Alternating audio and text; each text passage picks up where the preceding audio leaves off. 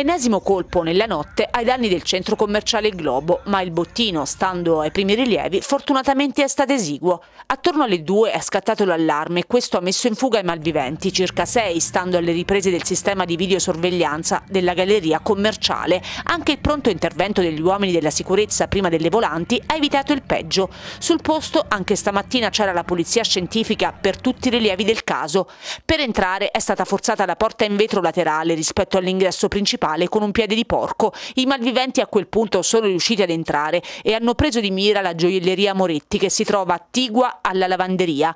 Hanno preso alla spicciolata pochi oggetti a quanto pare senza valore dalla gioielleria e una cassa che poi è risultata essere vuota. La polizia ha anche trovato sul posto gli arnesi utilizzati per lo scasso, che sono stati immediatamente sequestrati dalla scientifica per tutti i rilievi, ritrovati all'interno dell'oreficeria.